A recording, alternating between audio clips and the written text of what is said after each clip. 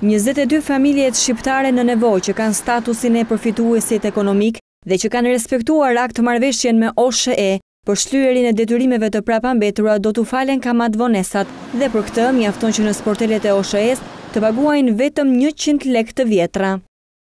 Njëzet e dy mijë e dyqind e pesëdhjetë e tre nga njëzet e pesë mijë e pesëdhjetë e një familjet e përfshira i kanë respektuar me korrektesë kushtet e aktmarrëveshjes, është vendosur që këtyre konsumatorëve shembullorë megjithëse në vështirësi të posaçme ekonomike, barra e kamatëvonesave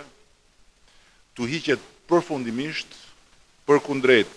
një pagese në një herë të vetme prej dhjetë lekësh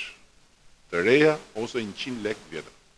Përfitues të këtij vendimi të qeverisë shqiptare janë edhe bizneset e vogla që kanë respektuar këtë aktmarrëveshje.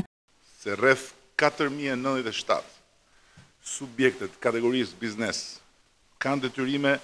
vetëm për kamatëvonesa. Për këtë kategori,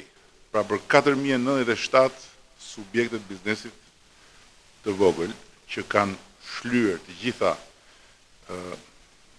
Detyrimet e prapambetura, kamatëvonesa do të reduktohet e tëra në vetëm njëqind lekë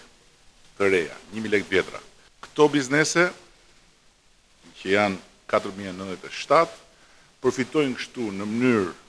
të drejtpërdrejtë dy pikë nëntë milionë dollarë.